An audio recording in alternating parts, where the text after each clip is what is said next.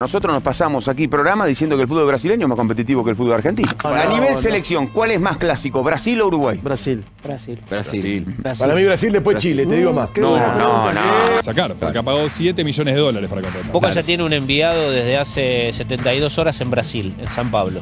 Corinthians debe 5 millones de dólares argentinos, más los intereses. ¿no? lo pagó, creo que pagó una cuota, más los intereses que FIFA le pone. O sea que lo que pagó eh, va a ser casi los intereses. Le debe mucha plata. Mirá, de, de Thiago Almada, eh, buscando vos encontrás Botafogo Brasil. Fala, meu convocado. Hoje tem mais argentino falando a respeito da seleção brasileira, do futebol brasileiro e dos reforços que os argentinos querem tirar aqui do nosso futebol. Será que são grandes jogadores? Deixe seu comentário, se inscreva aqui no Seleção do Mundo e bora ver. A No, nivel no. selección, ¿cuál es más clásico, Brasil o Uruguay? Brasil. Brasil. Brasil. Brasil. Para mí Brasil, después Chile, te digo más. Qué No, buena no, pregunta. no, Sí, Chile no es la cla- realidad para con Chile no es Después clásico entra un europeo, Inglaterra. Después entra Inglaterra. No, qué Y, buena pregunta eh, esa. Los europeos no los contamos. Inglaterra entra Inglaterra, después de Brasil. Hay una cosa que es rivalidad y otra cosa que es clásico. Sí, te ahí Claro. La Ah, sí, rivalidad claro. con Chile puede ser una cuestión El de clásico afinidad. Brasil. ¿Y con- Inglaterra con por Uruguay cuestión- qué es? Pero el clásico Brasil. Ah, el es un clásico clásico. Argentina-Brasil. es un clásico. Ahora con Uruguay es un clásico de Río de la Plata. También, No, no, pero pará, pará, No es si vamos. Histórico, porque la- Sí, el- historia- digamos, en la historia sí. cuando se, Claro. se crearon las selecciones de Uruguay y Argentina, Argentina jugaba con Uruguay, jugó 20 años solo con Uruguay, Y contra ¿Para Uruguay. vos más clásico con Uruguay y con Brasil? Es, un- es el clásico es Uruguay, lo que pasa es que Brasil siempre se ha generado una rivalidad. Uruguay. Aparte, es el clásico de barrio Uruguay. Para mí es Uruguay. Sí. Sí. Ah, ¿qué- ¿Qué dijiste, negro? Pues se tienen que ir los muchachos. No, vayan, vayan tranquilos. Vayan tranquilos. El. Pipi ayer, ¿qué me decís a mí? Tengo la culpa. Eh, ¿Escuchaste, Nico, lo que Sí, dijo el pasar? es el Bueno, clásico de todos. No, el segundo, el segundo de todos. no, no, no, no, no. Gary Medel está en actividad. Y Gary Medel está vigente. Y además creo que estos futbolistas tienen a veces hasta más garantía que un joven. Al que no. Ya jugó en Boca. Y ya jugó bien en Boca. Me van a saltar con Roncaglia. Yo estoy, estoy esperando porque siempre que hablo digo, busco el otro costado. Digo, me van a tirar debatiendo con ustedes 17 años, imagino de dónde puede venir. Ya aprendí a, a- a- a- a que por dónde puede venir la frase. No es lo mismo. Porque venía, creo que Roncaglia de Malta, no sé de dónde Chipre, venía. Chipre. De Chipre. Y Medel, jugador de selección chilena, viene de jugar en el fútbol brasileño. Nosotros nos pasamos aquí programa diciendo que el fútbol brasileño es más competitivo que el fútbol argentino. Casi va al descenso, sí, es verdad. Casi va al descenso. Me parece una buena incorporación. Yo le voy a mostrar enseguida, ah, seguramente van a decir, pero viste, tiene a, a este con treinta y pico, el otro con treinta y pico, el otro con treinta y pico. Yo le voy a traer, porque para venir, pararme acá y hablar con ustedes tengo que estar preparado. Muy bien. Entonces le voy a dar datos de por qué creo que para mí lo de Medel es una muy buena incorporación de Boca. Me gusta. Qué bárbaro. Ah, Hablen por lo bajo, gesticulen, balbuceen. Oh, chao. Para mí Medel es una muy buena incorporación de Boca. Muy buena. Digo hoy, una y 16 de este día, previo al arranque de la Eurocopa. Este jueves, donde va a jugar River a las 3 de la tarde contra Riestra. Si vamos a Florida y la Valle, preguntamos, ¿sabe que juega River? Yo creo que un alto porcentaje. ¿En no serio? sabe, ¿Hoy? sí. ¿Contra? ¿A qué hora? Bueno, señores, ya se está acomodando el profe Pellegrini. Le voy a decir enseguida, con el profe, jugadores que van a jugar en San Lorenzo Almagro. Para mí lo de Vareiro y River, para mí ya está. No, a ver, no se cae. Sacar, porque ha pagado 7 millones de dólares para contratar. Boca ya tiene un enviado desde hace 72 horas en Brasil, en San Pablo. Hmm. Independientemente de la oferta que sale del club, Por hay Vera. una persona que está negociando por Fausto Vera. Es optimista, pero es cuidadoso, porque sabe que no es una negociación fácil, pero el entusiasmo nace a partir de la oferta que Boca envió y que puede ser que Boca saben allá también que se pueda mejorar. 70% del pase es del Corinthians, 30% del pase es de argentinos. Corinthians debe 5 millones de dólares argentinos, más los pase, intereses. ¿no? lo pagó, creo que pagó una cuota, más los intereses que FIFA le pone. O sea que lo que pagó eh, va a ser casi los intereses. Le debe mucha plata. Oh. Y Corinthians tiene problemas, ¿eh? porque Garro tampoco lo ha pagado. Boca cree que este puede ser el segundo refuerzo. Cree y está convencido de que se puede llegar a dar todo como para que Fausto Vera sea el, el otro jugador de Boca. Hay gente del Toluca que llegó a la Argentina. Están acá. ¿Sabes qué me gusta de Riquelme? Que eh, tiene una coherencia en que los jugadores que les gusta lo sigue. Pero En yo el- como, como lo ha hecho ya. Claro. Mirá, de, de Thiago Almada, eh, buscando vos encontrás Botafogo Brasil.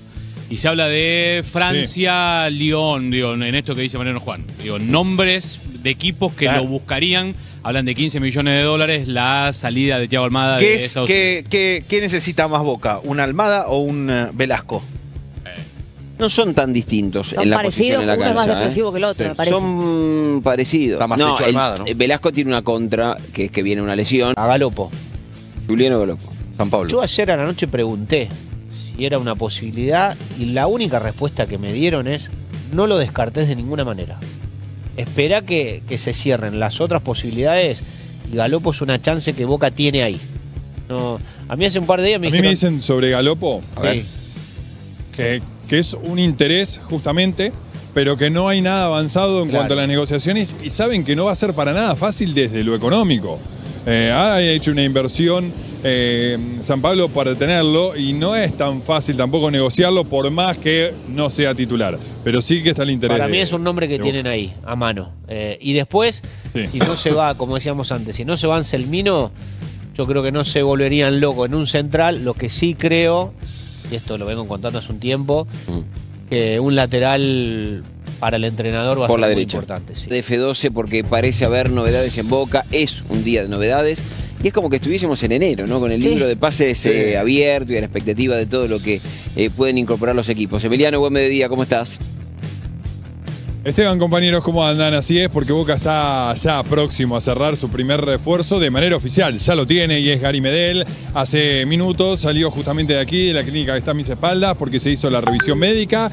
Ya está en el predio de Seiza. ¿Por qué? Porque lo más importante para el jugador y también para el club era entrenarse con Diego Martínez. Por lo tanto, ya con tan solo horas aquí en Argentina va a tener su primer entrenamiento con el equipo titular. Luego del entrenamiento, hasta ahora no es confirmada, pero está la posibilidad de que tenga ya una presentación oficial antes de mañana que Boca juega de local y que seguramente allí el hincha lo va a poder ver en la bombonera. Hay que pensar en Medel para el próximo partido, o sea, por Copa Argentina frente al Almirante Brown. Allí, ya si todo sale bien en cuanto a los papeles, va a viajar a Mendoza y tal vez sume algunos minutos. Como dijiste ayer, Martín, todo Eh, rápido, eh, veloz, un- rápido. una operación ah, relámpago. eh, sí, sobre todo porque el apuro lo tenía él de venir rápido a la Argentina, de que hoy a primera hora se haga la revisión médica, de que pueda firmar su contrato en la tarde de hoy. Él quería entrenarse hoy en el predio y de hecho va a estar.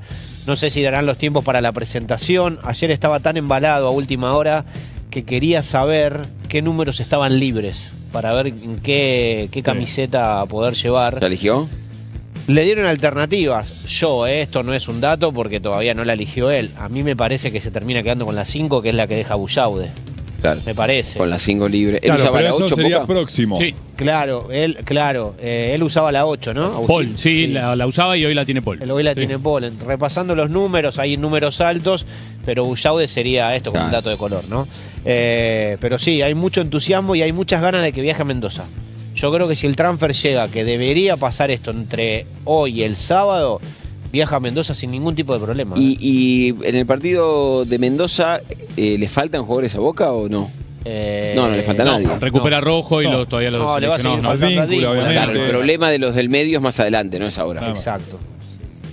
Y por eso. O sea, que tiene el equipo armado, no, no, no, no, no tiene, o sea, tiene el apuro de sumar una figura, pero no el la apuro necesidad. es pensando en lo, En lo otro. En, lo otro, en la, en, en la Copa Sudamericana, en los playoffs, en la definición, exacto. Por eso el apuro de, de determinados jugadores en estas horas de negociaciones que, nada, sorprenden porque Boca está yendo rápido y Boca Mm. está en cada negociación, tiene un escenario abierto con entusiasmo y con la expectativa de que las pueda hacer todas. Bueno, Medel eh, ya es un hecho real y concreto, como dijo Emiliano, en un rato se entrena con Sí. Boca. Eh, próximo futbolista a cerrar o negociación que medianamente ustedes crean que pueda estar encaminada.